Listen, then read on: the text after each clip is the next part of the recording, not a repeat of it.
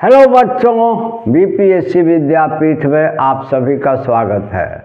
और विद्यापीठ अभी लगातार इकोनॉमिक्स में बाज़ार से संबंधित विभिन्न प्रकारों की चर्चा कर रहा है। और पिछले दो वीडियो में बाज़ार से संबंधित बहुत सारे प्रमुख प्रकारों की चर्चा की गई और इस क्रम में आज अंतिम रूप से हम लोग बाज़ार के तीन प्रकार की चर्चा करेंगे, जहाँ काफ़ी क्वेश्चंस पूछे जाते हैं, जिनमें एक है, एक क्रेताधिकार, मोनोप्सोनी, दूसरा है, क्रेता, विक्रेता बाज़ार और तीसरा है क्रेता बाज़ार सेलर्स एंड बायर्स मार्केट देखिए बच्चा लोग, ऐसा है कि हम लोगों ने बाज़ार में, बाज़ार के बारे में पढ़ा है, जिनमें एक मोनोपोली के बारे में पढ़ा है। एक डिओपोली के बारे में पढ़ा है और एक ओलिगोपोली के बारे में पढ़ा है।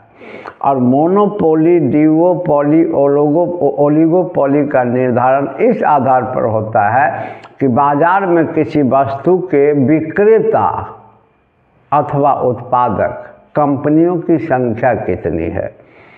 जब विक्रेता अथवा कंपनियों की संख्या एक हो तो मोनोपोली। दो हो तो डिओपोली। दो से कुछ अधिक, परंतु बहुत अधिक नहीं हो तो ओलिगोपोली। और मोनोसोनी का निर्धारण तब होता है जब बाज़ार में किसी श्रम शक्ति का खरीदार कोई एक ही कंपनी अथवा फर्म होता है। तो बाज़ार की वह स्थिति जिसमें किसी श्रम शक्ति का, किसी खास क्षेत्र में जब श्रम शक्ति का खरीदार कोई एक ही कंपनी अथवा फर्म हो, उसे एक क्रेताधिकार या अंग्रेज़ी में मोनोप्सोनी कहते हैं। अब जैसे मान लीजिए कि कोई एरिया है और उस एरिया में जितने भी श्रमिक हैं, उनको नियोजित करने वाली, यानी उनको रोज़गार देने वाली केवल एक ही कंपनी है। तो श्रम शक्ति की खरीदार केवल एक ही कंपनी या फर्म है। तो ऐसी स्थिति में क्या होगा कि श्रमिकों की सामूहिक सौदेबाजी की शक्ति कमज़ोर हो जाएगी।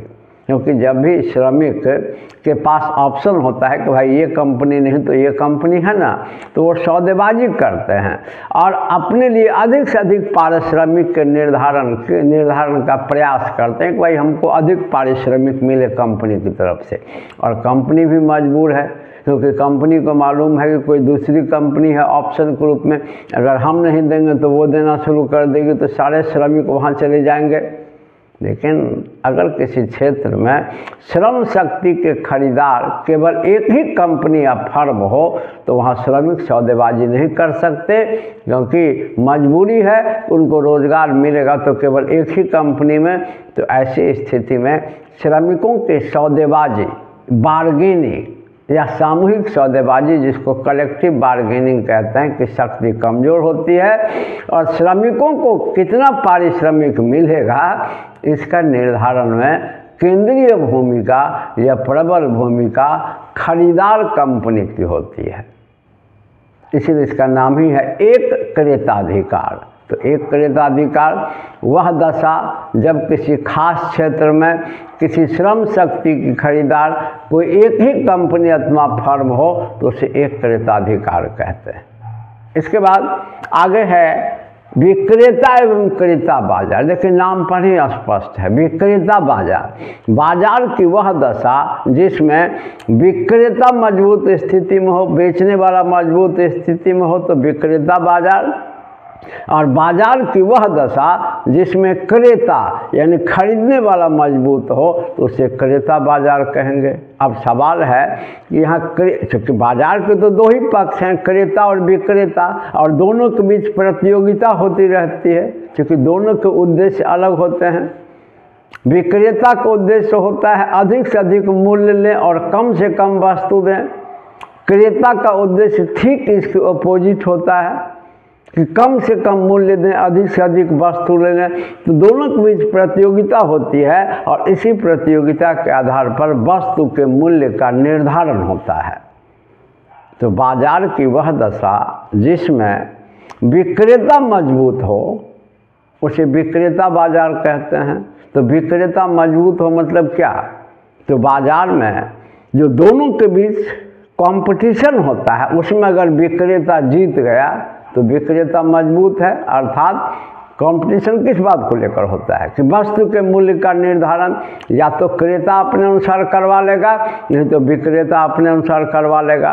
तो जब वस्तु के मूल्य के निर्धारण में विक्रेता बेचने वाले की भूमिका प्रबल हो, यानी बेचने वाला जितना चाहे वैसा मूल्य ले ले और क्रेता की भूमिका गौण हो, यानी क्रेता का कोई इम्पोर्टेंस नहीं हो, बेचने वाला अपने अनुसार वस्तु के मूल्य का निर्धारण करवा ले, जितना मूल्य चाहे वो वसूल ले तो विक्रेता मज़बूत स्थिति में है तो इसी को कहते हैं विक्रेता बाज़ार। तो बाज़ार की वह दशा जिसमें विक्रेता यानी बेचने वाला मज़बूत हो, अर्थात वस्तु के मूल्य का निर्धारण अपनी इच्छा के अनुसार करवा ले तो उसे विक्रेता बाज़ार कहते हैं। और ऐसा कब होगा? ऐसा तब होगा जब किसी वस्तु की आपूर्ति सप्लाई उसकी मांग की तुलना में कम हो। तभी विक्रेता मज़बूत होगा। समझ जैसे एग्ज़ाम्पल लेते हैं कि जब बाज़ार में नई नई गोभी आती है, गोभी तो गोभी जैसे अब बाज़ार में खरीदने भाई गोभी कैसे है? तो अस्सी रुपये है। अस्सी रुपये जोड़ा या एक पीस। आप कहते हैं भाई महँगा है, कुछ कम कीजिए तो नहीं भाई, कम नहीं करेंगे। लेना हो तो लीजिए, नहीं तो जाइए। तो इस काल में क्रेता मजबूर होकर के उतना ही में खरीदता है, क्योंकि उस जब नई नई गोभी आती है बाज़ार में तो गोभी का सप्लाई बहुत कम होता है और डिमांड बहुत ज़्यादा होता है। तो जब बाज़ार में किसी वस्तु का सप्लाई बहुत कम हो, आपूर्ति बहुत कम हो और उसका डिमांड ज़्यादा हो तो ऐसी स्थिति में विक्रेता जो चाहेगा उसके अनुसार मूल्य, अपने अनुसार मूल्य का निर्धारण करवा लेगा और क्रेता से मूल्य को वसूल लेगा। तो बाज़ार की वह दशा जिसमें विक्रेता यानी बेचने वाला मज़बूत स्थिति में हो, वस्तु के मूल्य का निर्धारण अपने अनुसार करवा ले और वस्तु के मूल्य के निर्धारण में विक्रेता, क्रेता की भूमिका गौण हो या नगण्य हो तो इसे कहते हैं विक्रेता बाज़ार। तो विक्रेता मज़बूत है तो विक्रेता बाज़ार, और मज़बूत है का अर्थ क्या हुआ? कि वस्तु के मूल्य का निर्धारण वो अपने अनुसार करवा ले रहा है, और ऐसा तब होता है जब मार्केट में किसी वस्तु अथवा सेवा का जितना डिमांड है उससे बहुत कम सप्लाई है। इसीलिए इसका नाम पड़ा है विक्रेता बाज़ार। और क्रेता बाज़ार, विक्रेता बाज़ार के ठीक विपरीत स्थिति को बताता है। अब इसमें क्या होता है? कि विक्रेता वस्तु का, वस्तु के मूल्य का निर्धारण अपने अनुसार करवा लेता है। क्रे बेचने सॉरी क्षमा कीजिए। क्रेता यानी खरीदार वस्तु के मूल्य का निर्धारण अपने अनुसार करवा लेता है। वस्तु के मूल्य के निर्धारण में बेचने वाले यानी विक्रेता की भूमिका गौण हो जाती है। और अब आप समझ सकते हैं ऐसा तभी हो सकता है जब वस्तु की आपूर्ति यानी सप्लाई उसके मांग अर्थात डिमांड की तुलना में कम हो। अब जैसे देखिए, गोभी का एग्ज़ाम्पल हम लोग लिए तो नया नया जब गोभी आता है बाज़ार में तो डिमांड ज़्यादा सप्लाई कम। तो विक्रेता अपने अनुसार वस्तु के मूल्य का निर्धारण करवा लेता है। और जब गोभी का पूरा सप्लाई हो जाता है और मैंने बहुत ज़्यादा डिमांड उसका घटता जाता है और सप्लाई बहुत ज़्यादा हो जाता है तो वहाँ पर जाकर के क्या होता है कि वहाँ पर खरीदार मज़बूत हो जाता है क्रेता। पूछता है, भाई, गोभी कैसे? तो दस रुपये तो नहीं भाई, बड़ी महँगा है। अरे, आइए ना, आठ रुपये ले लीजिए। तो नहीं, सात रुपये दीजिएगा तो ले तो ले जाइए। एक ही स्थिति में, गोभी के मूल्य के निर्धारण में, बेचने वाला विक्रेता मज़बूत हो गया और अपने अनुसार मूल्य का निर्धारण करवा लिया। और दूसरी स्थिति में क्या हुआ?